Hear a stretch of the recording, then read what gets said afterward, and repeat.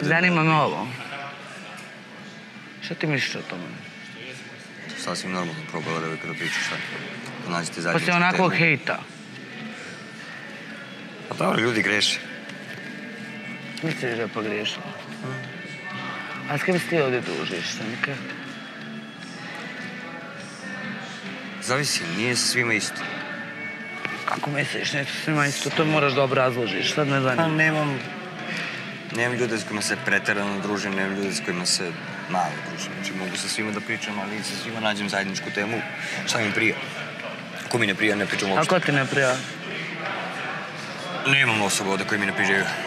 Zato što uglavnom Kako sam rešavao, pa prije- sam, pa ne, Kako mislim. kad si rekao da sad malo prije, bukvalno Pa, prije zato što se 30 dešava- sekundi da pa s ovim dobar, s ovim nisi dobar. Evo, desilo se, na primjer, da mi nisi prijela u početku, nisam Ne razgovarao s pusti tobom. mene.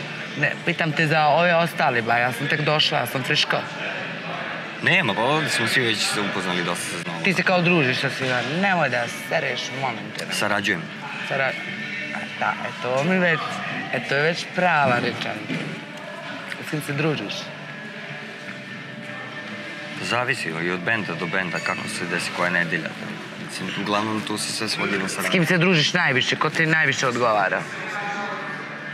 Ima ih dosta baš, baš dosta. Ko? Luka, Vuk,